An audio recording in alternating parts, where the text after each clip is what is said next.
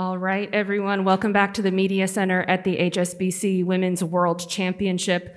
I'm happy to be joined by LPGA Commissioner Mollie Marcoux-Samaan. Mollie's about six months into the job now. Excited to uh, to get the opportunity to work with Mollie. Mollie, welcome to Singapore. Thank I know you. you. said this is your first time on this side of the globe at all. Uh, how do you feel about uh, visiting Singapore, this this lovely country? Are you are you finally getting some sleep?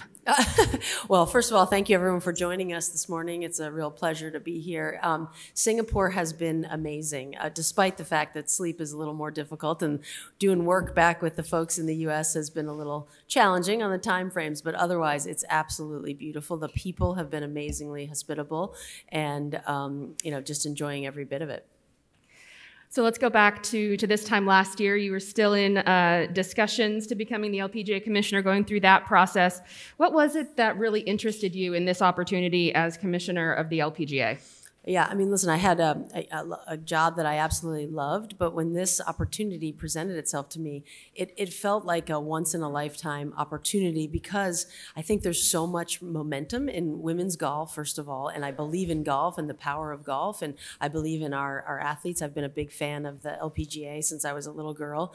Um, and I saw this as this moment in time to really change mindsets around women's golf, around women's sports, and to really inspire the next generation of of, of young girls and women through our game and through our amazing athletes. I think there is tremendous, as I said, tremendous interest in women's sports right now. And, and there's this fundamental shift in how people are viewing our athletes. No longer, I think, particularly in this part of the world, our, our athletes are not the other. You know, they're the, the main show in many, many forums. And so I'm just really excited to be a part of that and to be able to showcase and highlight the, the talent and the opportunity for, for growth and change we truly are growing but like like all sports like so many businesses had the struggles over the last two years during the pandemic. How do you feel we've been able to manage these last two years and where do you see us now as we're coming out hopefully on on the other side of this difficulty? Yeah, I mean, listen, obviously, it goes without saying COVID has been extremely challenging for every organization, let alone every sports organization. Obviously, in my role as athletic director at Princeton, we were uh, working very hard every day to manage through the challenges. I, have been blown away by the by the way the LPGA and all of its partners, um, and, and partners very broadly, both our sponsors and our media partners, and the golf courses that we've played with, and our vendors, how people have, and really the industry as a whole, how people have come together um, with the, the good of the, the good of the order, the good of the team at hand. And so surprisingly and shockingly, we entered the pandemic um, at something around you know, low $70 million in purses. I think in 2019, we, we had $67 million in purses. And now in 2022, through the pandemic, we're at 90.2 million in purses and 34 events that are really thriving. And that's a tribute to the staff, as I said, the partners, but also the players. I mean, the way that they have handled the, uh, the need to be flexible, the need to be a part of a team and to just do what they need to do to, to be able to provide this, honestly, inspiration to the world, to be able to see the women playing, to get back to some semblance of order, not in the way that they normally do it, um, has been really remarkable. And I will say there's a tremendous amount of gratitude from our players. There's a tremendous amount of optimism for the future. They're just an amazing group. I mean, it feels much more to me like a, a full team than it is women competing against each other. I always say it feels like a college athletic department, even though every day they're going out and trying to be the very best in the world. There's a sense of community, there's a sense of belonging, there's a sense of passion for acting like a founder. I mean, that's the phrase that we use. So I think, you know, despite the many challenges in the world and the hardship of all of COVID, the LPGA has come out, you know, really ready to take that next step. So now you're six plus months under the job. You've been able to meet so many people over here, meeting the executives from HSBC and Aon and various other people. Where do you hope to take the LPGA tour in the next few years? What's your vision for the beginning of your commissionership? Yeah, I mean, as I said, the, the partners that we have, including HSBC, I mean, it's been amazing being here. The way that they, the golf course and, and you know, obviously HSBC and all the other sponsors have really embraced and the way they embrace our athletes is remarkable. I mean, they realize that provide providing the right environment will allow our athletes to reach their peak performance. So um, I think that the, the, the way that the athletes have been treated are sort of commensurate with their world class talent.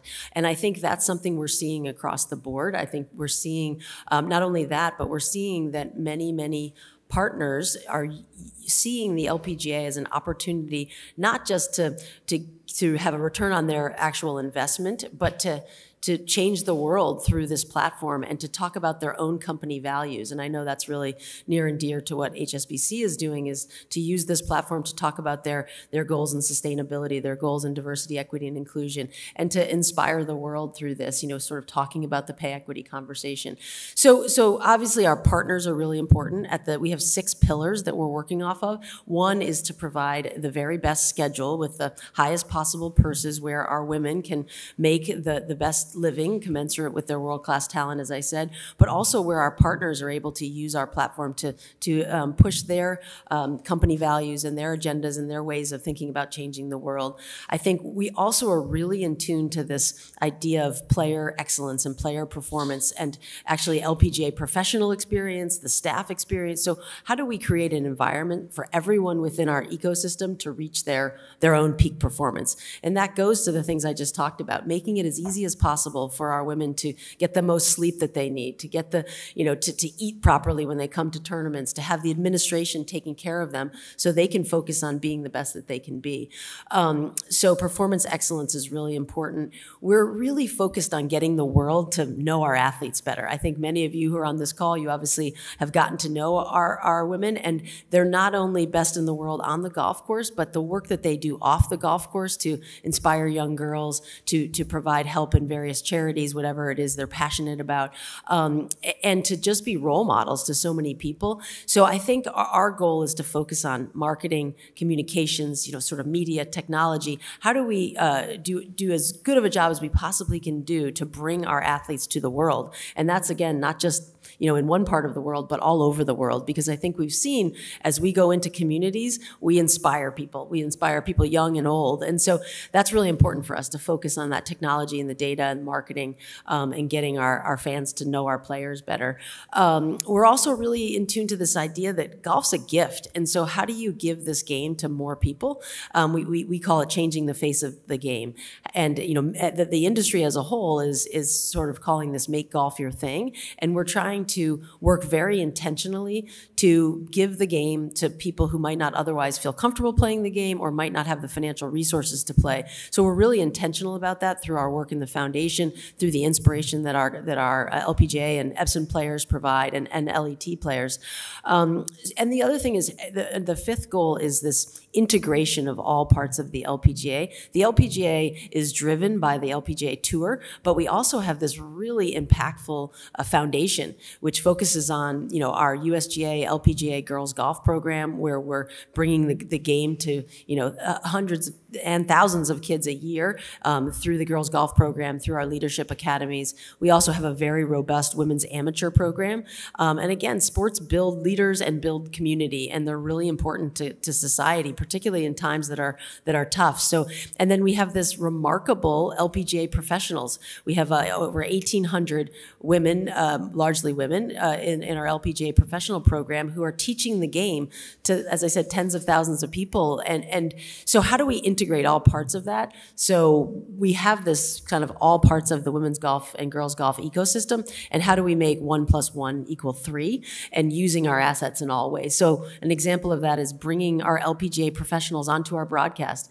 and having them sort of analyze our players' swings and give, give our audience and our fans an opportunity to learn more about the, the golf swing because we all know that's something we are constantly trying to tackle, myself included.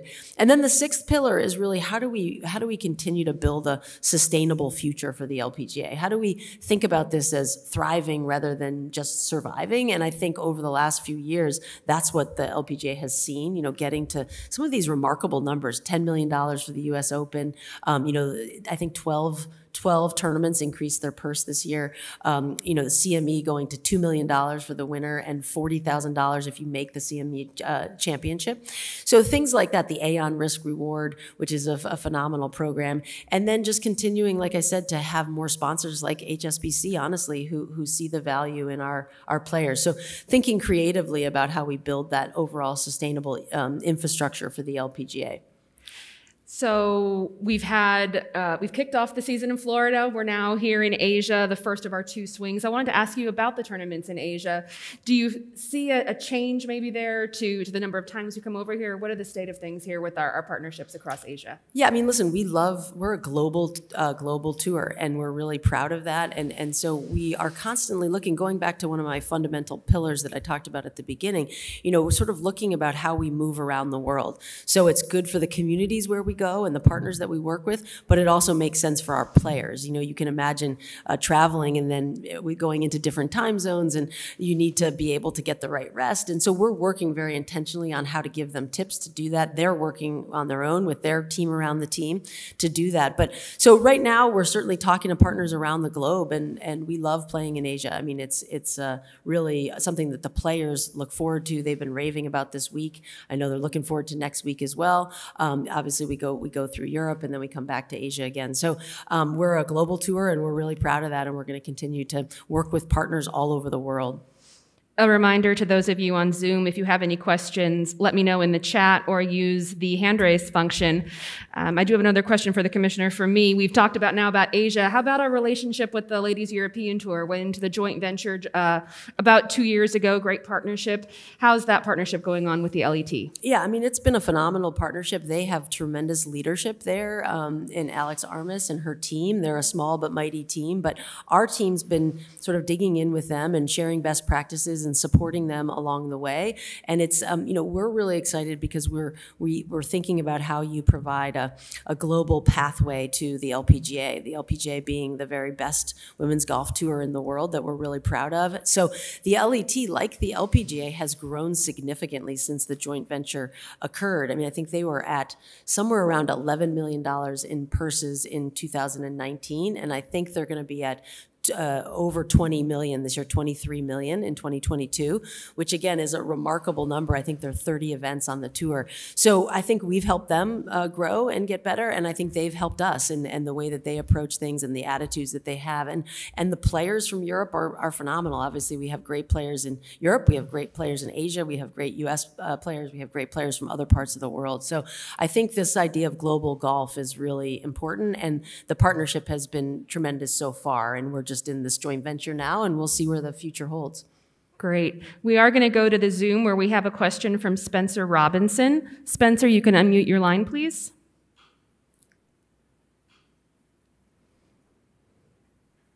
Maybe. There you are. Spencer, we can see you, we can't hear you. John, do we think that's on our end or Spencer's end? Okay.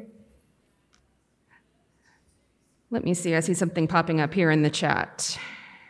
Give me just a moment. It is from Spencer. Looks like he might be having some audio problems. Question from Spencer Mollie. Um, uh, do you see the LPGA Tour perhaps returning to Asia anytime soon or any other venues, uh, tournaments that may be of interest? Like I said, I mean, we're constantly evaluating the the flow, the geographic flow of our entire tour, and you know, we have a tremendous team uh, working in Korea, and obviously our team in, in the U.S.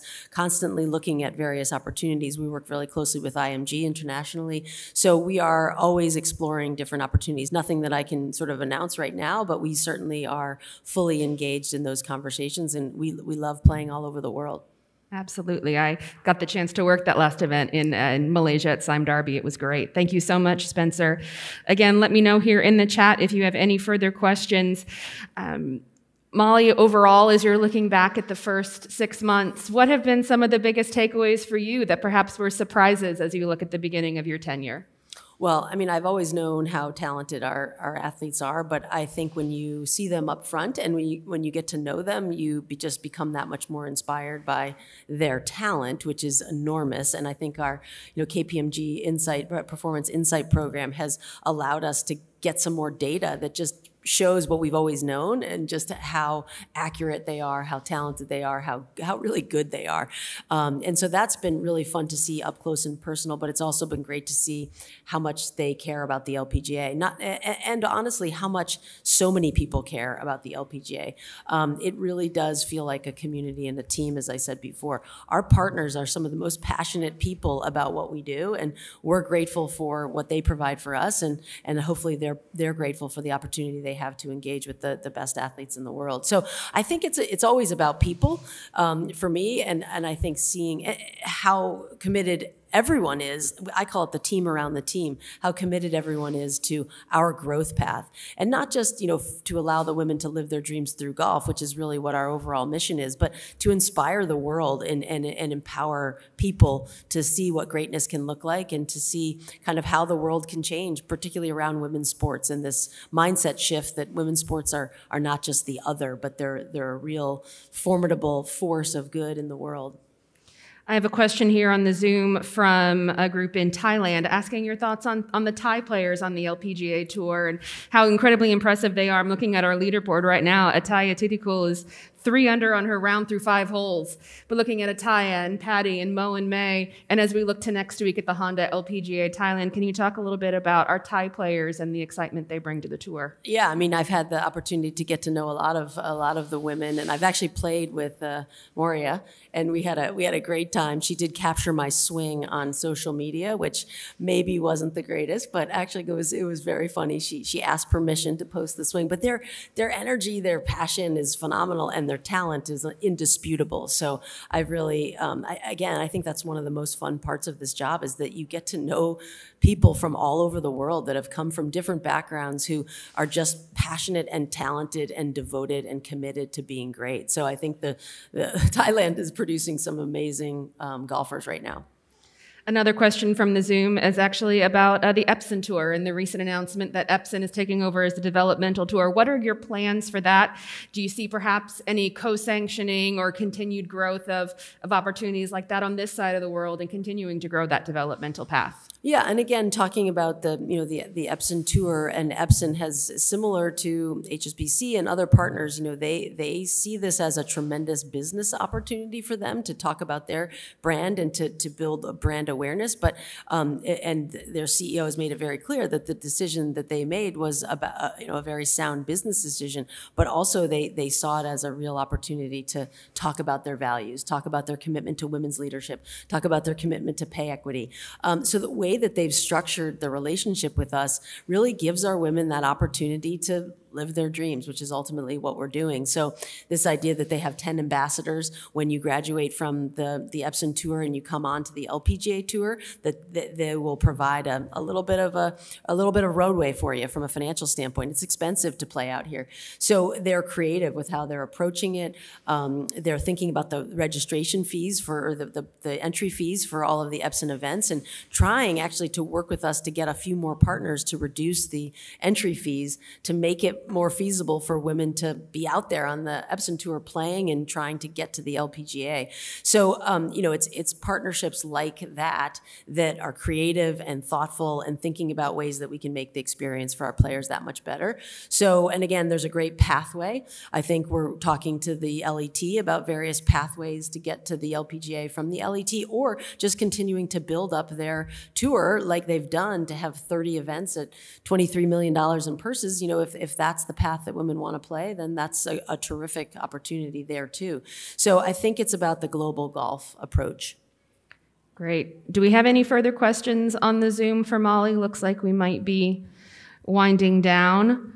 Well, overall, Mollie, what has this experience been like the last three days? I know it's been a whirlwind, quick trip in, quick trip yes. out, but your first opportunity to come over here and, and see the Asia swing in action. What are your biggest takeaways from these two days? Yeah, I think it's just what I said before. People love um, people love the LPGA. I think Singapore loves the LPGA. Obviously, HSBC and uh, Lexus and the other partners here uh, love the LPGA, and, and our women love being here. I've heard so many compliments and positive um, sort of experiences so far. So I'm thrilled that I made the trip. I'm excited to be here. I'm excited to watch some amazing golf today. I know you guys are all watching, and the leaderboard is pretty packed at the top, and everybody's playing pretty well. And and so anything can happen. But we've just I mean, our athletes are remarkable. What what they do consistently, week in, week out, and uh, they're they're playing great. We did just have one final question pop in, and then we'll let you go. Um, wanted to, to ask about the emergence of young stars in the region. We've talked about Atthaya a little bit, but this question is particularly about Yuka Saso. Grew up in the Philippines, plays under the Japanese flag now, clearly a, a, young player of the world, but what she's been able to do the last year since uh, since she won that U.S. Women's Open and gained her LPGA membership. Yeah, I remember. You know, as I was watching that, I was thinking, I have an I have an 18 year old daughter and a 16 year old daughter and a 13 year old son, and seeing the way that you know, and they're great athletes and great kids and work really hard, but seeing her on that world stage, you know, for the first time during the U.S. Open, I, I, was blown away by her her um, kind of uh, calmness and her ability to handle the pressure. And then she just has come out and been a huge part of the LPGA since since that moment. I mean, I, her smile is infectious. You know, she's very popular out here, and so she's just another example of a young star that is inspiring people through her on the course work and her off the course personality. And you know, it's great to see her in some commercials, right? I mean, I think that's the other thing that's happening in the industry is you'll see some of our, our partners, our manufacturers, you know, putting highlighting our women in really important ways through their own, um, you know, international, national commercials. So um, Yuka's just an example of the young talent that's out there.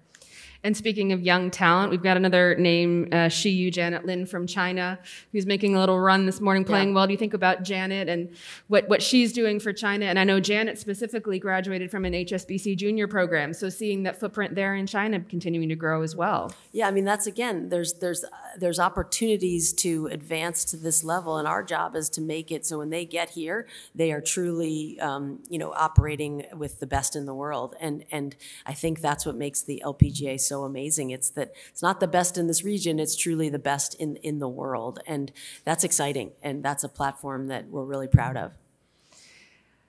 The questions are popping in fast and furious now. We won't take much more of your time. Are there any key markets that you would specifically targeting, maybe in both in Asia, but in Europe, around the world? Any specific areas you're looking at? I mean, again, I, I think golf is growing everywhere. I mean, I think that's the beauty of the game, and, and women's golf is so powerful in different parts of the the world. Um, so, and, you know, again, we're looking at all markets, so I can't pinpoint one specifically, but I think we do want to think about, as I said before, kind of how that works for our players. You know, sort of how we we take them through at a geographic flow, both domestically and internationally, a, a, a flow that works for them, so they can be the very best that they can be. So, I think we always have to be aware of their travel schedule schedules, the time changes dif uh, differences, how we kind of have a series on the West Coast, on the East Coast, in the Midwest, how we come to Asia and, and clump the events um, so it, it's as easy as possible for them to to travel and as you know inexpensive as it is for them to travel. So we're really grateful for the way that a lot of our partners help them with that. But we're looking, you know, we there's there's not really a market that we're not looking in. Great. And Malkeet, I can answer this question for you directly. We have 34 events on our 2022 LPGA calendar with two new events, one being the JTBC Championship at Palos Verdes in Los Angeles, and the other being the Kroger Queen City Championship presented by P&G in Cincinnati. Looks like maybe we've gotten through everything. I think we've covered everything. I know you head back tomorrow, Mollie, yes. but uh, oh, one more, one more, and then I promise we're going to call it a day. And this is actually specifically talking about Japan. We actually haven't mentioned Japan out of a outside of a quick mention of of Yuka. We're seeing big uh, success from Japanese golfers, men and women. Nasa, Yuka playing under the flag now, Hinako winning AIG a few years ago, and now here this week. What are you? What are, what are your thoughts on, on Japanese golf at seeing such success? Hideki Matsuyama on the men's side, of that coming up in, in the country of Japan. Yeah, I mean, listen, I was really, I was, I was planning on going to Japan in the fall. I was hoping to be able to make that trip, and you know, we'll we'll look forward to going back uh, this coming fall. But it's the same in a lot of regions, right? I mean, the talent, and that's why it's so fun looking down our leaderboard. I mean, it's not one country dominating. Obviously, the, the Korean players still remain unbelievable, and and uh, the Japanese players are coming on. We've got some great talent in the U.S. Um, yeah, so I, I, mean, I think uh, you, you, nailed it, but I, I, do think that it's the sport's growing everywhere, and we're so proud of that. And I think we have a, a part in that. When you can put the women from different regions on the world stage, then it just inspires young girls to play. It inspires sponsors and people to get involved and to support what we're doing. So it is truly uh, one of the most global, if not the most global organization out there, and we're very proud of that. Great. Well, thank you so much, Mollie. We appreciate your time. Safe travels going home, and we you. will see you down the road at the next event. All right. Thank you, guys. Thanks for your support of the LPGA. It's, it's, it's truly uh, amazing. Great. Thank you so much, everybody. We'll send around a transcript as soon as this is done. Thank you very much.